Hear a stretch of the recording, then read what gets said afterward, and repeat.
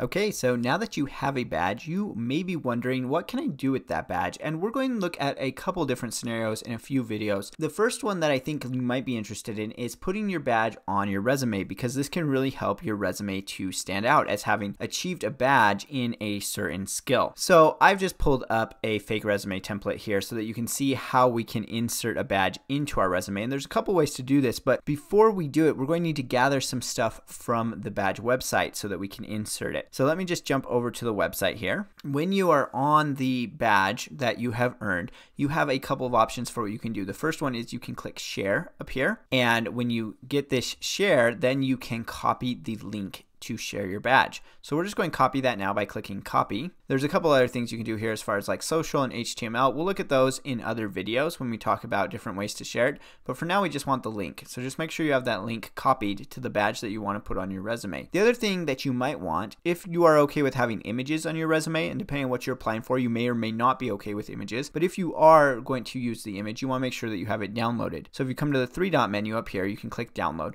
and then you will get your badge. You can also get that badge from the email that you were sent from Badgr when you first earned the badge. Okay, let's go back to the fake resume. We can choose where we want to put our badge. So we could do this either in the skills area or in the awards and acknowledgments area of this particular resume. You may set up your resume differently, so make sure that you put it in a place that makes sense. So I'm going to do it in awards and acknowledgments. So I'm just going to make sure that I have some extra space here. And I'm going to first do it with the image and then I'll do it with text. So let me go grab the image from my downloads. Just go and drag it in here. And you can see the image is populated here. Now remember, one of the really important things about badges is that it links back to evidence so that the person can see what you've done. So in this case, I'm going to say, well, I got a meme badge and they would want to see the meme that I made. So let me go ahead and I'm just going to shrink this down because obviously we don't want it to take up our whole space here. And I want to give the badge a title.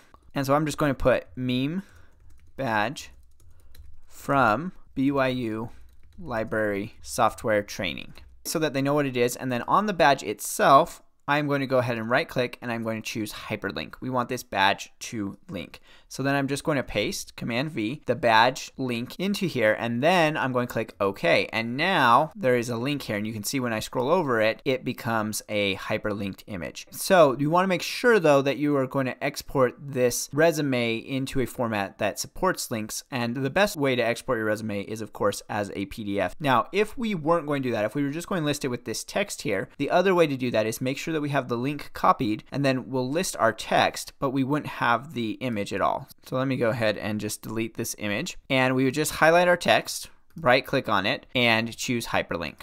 So we're just going to link this and put in the link there. So that would be appropriate if you didn't want the image. Now the image makes it stand out a little bit more. It looks a little bit more like you earned something specific when you have the image, but it will really depend on where you are putting your resume. Where's it going to go to? Because if it's going to run through some kind of like auto screener, those don't like images. So you want to leave images off of resumes that might be going to large companies that are using auto screeners. And so that's two ways, one using text and one using images that you can put it on your resume. Now, if you are concerned about having links on your resume at all, you could, of course, just put the text on your resume of what you've got, but then you kind of lose the value of the badge because they can't click through on it and actually see the work that you did. So you just kind of have to choose based on where your resume is going, how you think the best way to put it on there is. And that's how you can use your badge on a resume.